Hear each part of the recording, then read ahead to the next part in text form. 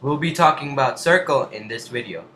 Okay, moving on to our third 2D figure which is a circle. Now circle is basically an important figure because any circular object that we need to find area or perimeter it's rarely easy to find and when we were coming up with the the whole how to find the area was uh, you know, oddly the hardest thing to do.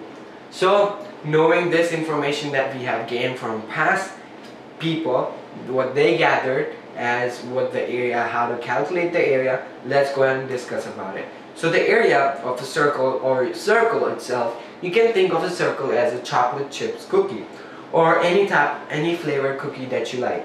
So it has to be cookie which is a circular shape, okay? Now since it has a circular shape, it is not called a polygon. Now polygon are basically something that has sides. Now last two uh, figures that we talked about, which are rectangle and square, are polygon itself. But this, since it has no boundaries, right here, it doesn't have straight lines, it has circular path, it's not a polygon. Knowing this information, we should know two more things. That there's a center point over here, as, as we should know. There's a center point, midpoint, you can say, center point located over here. Now if you take that center point, excuse me, if you take that center point and draw a line to the end, it would be known as a radius, r. Many radius is called radii, okay? And if you take that center point and make a line from anywhere across to another endpoint, passing through the midpoint, which would be known as diameter. Now diameter is basically 2 times radius because it's half of that and then you have another half uh, one radius right here from one part to another part and one radius would be here. So it's two times the radius. Knowing this information we can come up with the formula of area.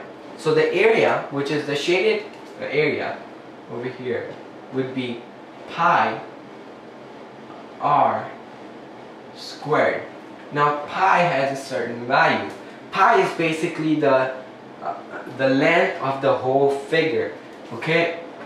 So that would be the pi would basically represent 3.1415 and so on and so forth but approximately it's all it's uh, it's calculated as 3.14 okay? So the area would be pi times the it's dependent upon your radius that you have. Now, another important thing in circle is that the perimeter, it's actually, the idea is the same of perimeter, but it's actually known as circumference, which is the boundaries. Now, since we said it's not a, a polygon, okay, it's it's not actually called in terms. It's not called. It's not called perimeter. It's known as circumference of a circle. So the circumference of a circle would be there's two formulas and both even if you use any one you basically end up with the same answer. Pi times the diameter or 2 pi r.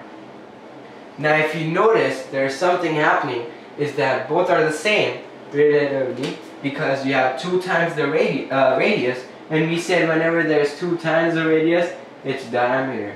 So instead of saying 2 times pi times r, we can just use uh, pi times d. Now notice that we are not doing 2 times pi plus r because then we are using the uh, dis distributive property which is 2 times pi and then we are adding that to 2 times the radius. We are not doing that here. Okay, it's wrong because we're uh, we're doing some other property which is 2 times radius uh, times diameter which is we're going in um, of uh, the properties okay? So knowing this things about circle let's go ahead and move on to our next 2D figure. I seek you